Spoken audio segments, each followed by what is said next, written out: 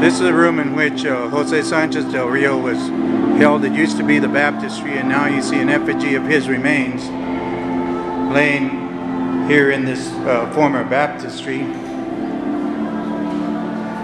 The faithful can come and visit these in remembrance of the Cristero Rebellion, where the young boy was tortured and brutally killed by the Freemasons.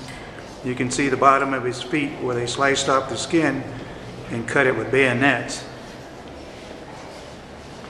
Um, Jose Sanchez del Rio was 14 years old at the time.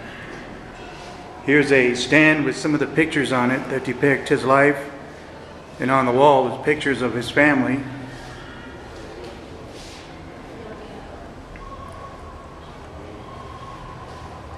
Get a better shot of it there. And these are a picture of his parents.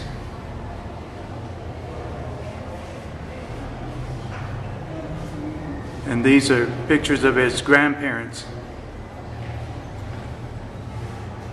Another set of the other grandparents on his mother's side. And here's a document showing his baptismal record and such. And here's a little picture of Jose that's on the wall in the former baptistry. Here is the baptistry that was in place in the middle of the room at the time that he was martyred.